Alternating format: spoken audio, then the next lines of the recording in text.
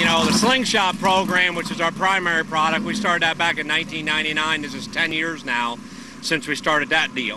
Uh, and that's a product that gets people started, uh, showcases talent like some of the race car drivers here we have today, Billy VanInwegen, uh, Tyler Potts, uh, the Gary Hebers, uh, those type of people.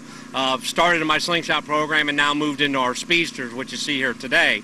The SpeedSTR product is basically, you know, the way I look at it is there's no reason why a professional race car driver like a Brett Hearn, a Billy Pauch, even a Steve Kinser needs to put a show on with an $80,000 race car you know, we can come and put the same show on with a $17,000 race car, then race car drivers can get paid like human beings, not circus performers. So this car that we're looking at right here is how much? 17,000? They're 17,000 ready to go racing. That's the whole car motor and everything. You can buy a spare motor for $5,500. Uh, and believe me, they're cars that'll challenge you. You know, they, they race a lot like a small block modified would, you know, speed-wise. Um, you know, we run on steel wheels. They're sealed motors. Uh, manual steering, something like you never seen for years. It's got a Schroeder manual steering, and you know, and, and once again, those are things that we tried to do to make sure the dude behind the wheel's making a difference. You you got to want to do it. You know, we had a lot of grumblings from the racing community, but I'm I'm not out there to make people happy. I'm out I'm out there to make the sport better and,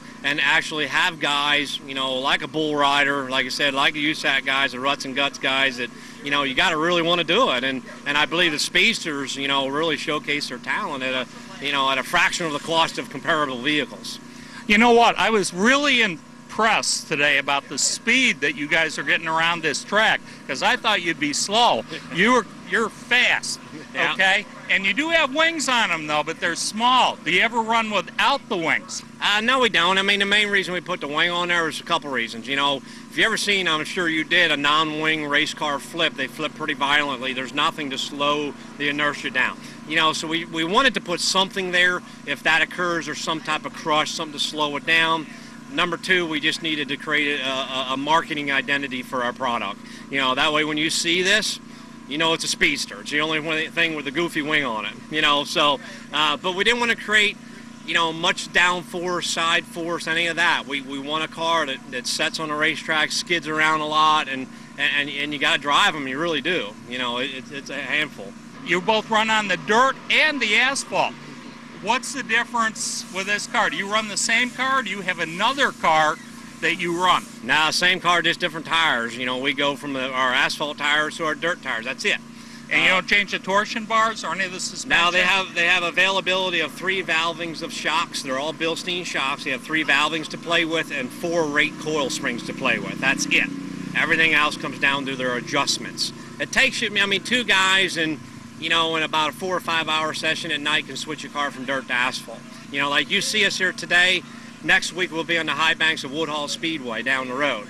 You know, and, and that's cool, man, to take these kids and these drivers to take them from here to asphalt to dirt, you know, uh, multiple facilities. It just, you know, it really rounds their talent. You know, like back in the day when, you know, the old Shangri-La when, uh, you know, when Richie Evans ran there. You know, and that's what the people in Oswego used to say. I mean, you know, your Jimmy Shampines, the Richie Evans, they used to run dirt and asphalt. Oh, they you know what I mean? back and forth. Yeah. Exactly. And my dad did. We ran. My dad ran Hershey Stadium and you know, and Reading and all those places, and that's what we used to do. And you know, I want to get back to that. I want to get back to where you know I'm a dirt track guy. But when I go run Oswego with these cars, I might run against Pat Abold or Gosek. So I'm a dirt guy, they're asphalt guy. But when Joe Gosek you know, and Abold and those type of people have to run Selinsgrove, Speedway, or Woodhull. Now, you know, it's back in my game. It's in you your know, turf. Yeah, so yeah. you have the rivalries between the two groups, and and you know, it's been years since you've seen that, and that needs to happen. How do uh, people get a hold of you on getting involved in this type of racing?